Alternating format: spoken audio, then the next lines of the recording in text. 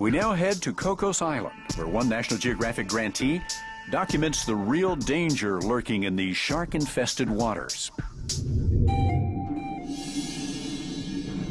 Known as one of the world's top scuba diving destinations, Costa Rica's Cocos Island National Park boasts a higher concentration of sharks than perhaps any other place on the planet, earning it the nickname Shark Island.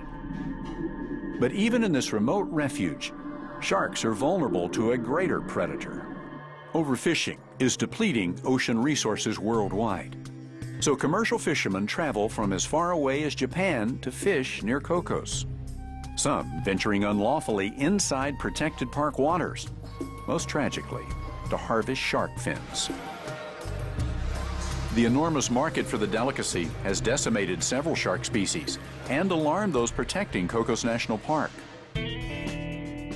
At the invitation of the Costa Rican government, National Geographic grantee Ben Horton came to Cocos Island to help with advocacy efforts.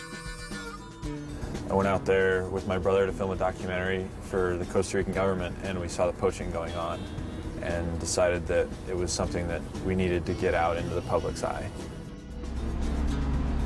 Ben is working alongside park rangers on a documentary which will eventually follow the illicit shark fin trade from Cocos Island to the Asian markets.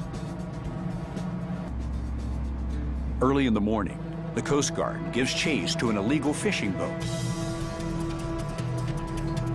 When the driver refuses to stop, a guard fires a warning shot into the air.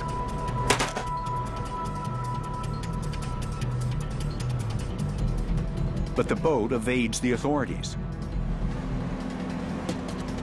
Eventually, the pursuit is abandoned and the poachers escape.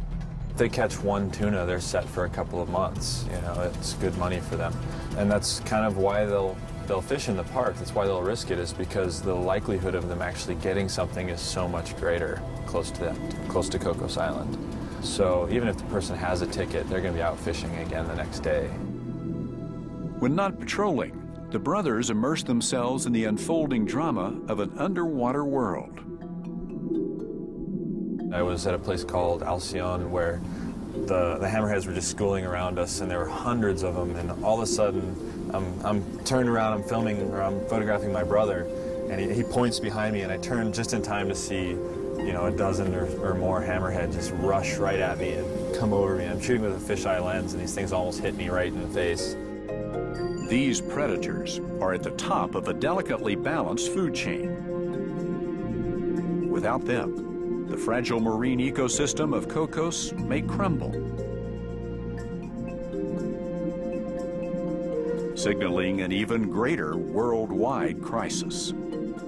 Cocos Island's probably the last place you're actually going to see the sharks disappearing because they come from all over the ocean to congregate on Cocos Island.